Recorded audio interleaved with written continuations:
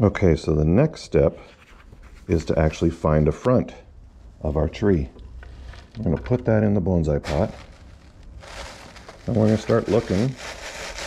So what I'm doing is I'm actually looking for a front and I'm seating. I'm seating the tree at the same time. So we're gonna look for a front.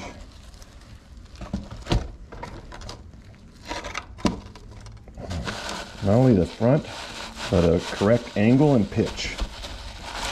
I think I'll put that at a little bit of an angle.